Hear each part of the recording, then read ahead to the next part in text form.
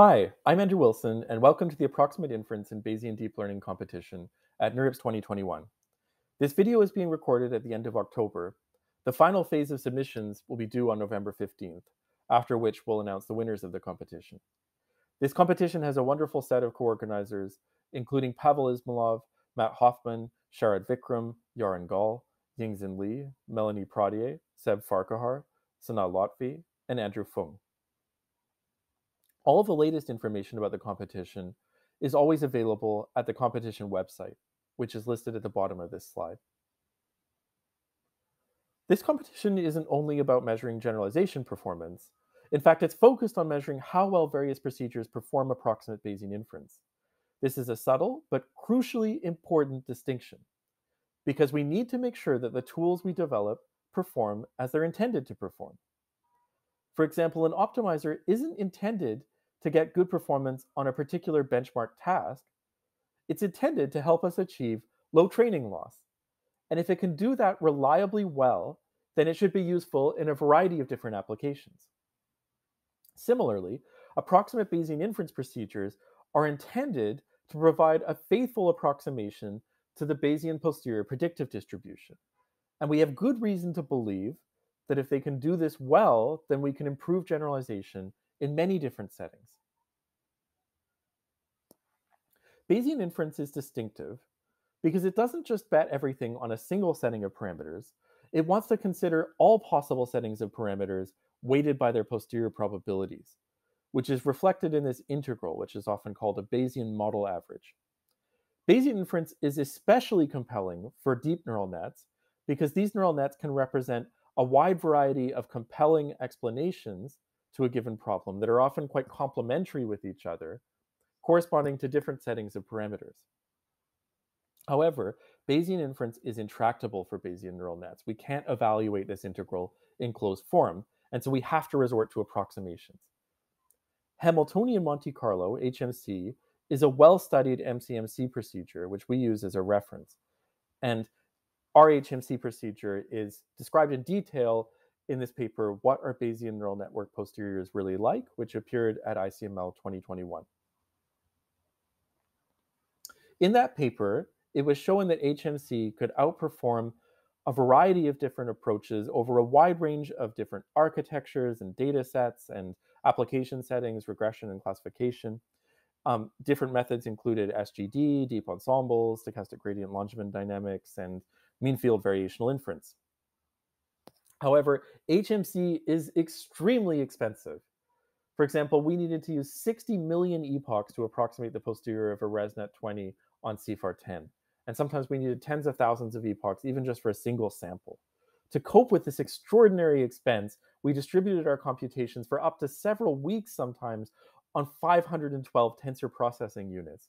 So HMC is not practical. This is not something you can run at home. But now that we've expended this computation, we can use it to really try to understand how well a variety of different approximate inference procedures do what they're really intended to do. And early comparisons provide surprising and very interesting results. Deep ensembles, for instance, which are often characterized as non-Bayesian, are often actually closer to this HMC reference than many canonical approximate Bayesian inference procedures. Much closer, for instance, than variational inference in these figures. Stochastic MCMC procedures with cyclical learning rate schedules were typically the closest to HMC so far. So what is HMC and how do we know if it's doing a good job? Hamiltonian Monte Carlo simulates the dynamics of a particle sliding on the plot of the log density function that we wish to sample from. It's inspired by analogies with physics. It's asymptotically exact, it's extremely well studied and understood, and it's been highly successfully used in early work on Bayesian neural nets. Radford Neal, in particular, has looked very closely into using HMC with neural networks. Unfortunately, it requires exact gradients and it's generally very expensive. It requires full batches. To ensure that we're getting high quality samples with our HMC reference, we ran multiple long HMC chains And we applied several MCMC diagnostics, such as the Gelman-Rubin statistic, also known as the R-hat statistic, where we compare the between-chain variance with the average within-chain variance. So those two things should be close together if we're not, for instance, getting stuck in local optima. And it was reassuring that our R-hats were generally pretty close to one in function space, which is all that matters because uh, this, is, this is in prediction space, um, because different weights can give rise to the same functions, and it's the functions that we're using um, to make our predictions. Now, the posterior landscape for neural nets is extremely complex. Uh, so it has multiple different local optima, and um, it even has properties like mode connectivity, where they're these like wormhole-like tunnels which take us from one SGD solution to another without really changing, changing the training loss or the posterior density. And we've seen that a single chain of HMC is competitive with multiple chains, which is quite reassuring. It means we're probably not getting stuck in local optima. And this is not typically true for um, stochastic MCMC procedures. We also see evidence HMC can pass through low energy tunnels in the posterior landscape, which helps it navigate this really interesting um, loss surface. And there's, there's much more in this paper that I mentioned the competition has several different phases. So we had a development phase, which started on July 15th. We have an evaluation phase, which started on October 11th and will end on November 15th. And then we'll announce the results on November 25th. The development phase asked participants to um, make predictions on CIFAR 10 and CIFAR 100 using a ResNet 18 and on IMDB using a CNN LSTM model. We had several different entries to this phase.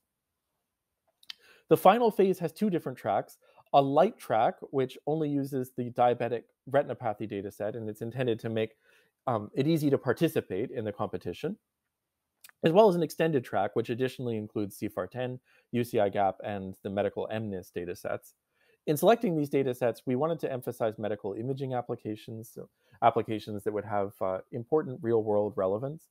And uh, we also considered in distribution and out of distribution inputs, as well as a diverse set of model architectures and problem types, regression classification, etc. And some of these data sets are testing quite different things, like UCI GAP, for instance, is testing predictions uh, far away from our training data points.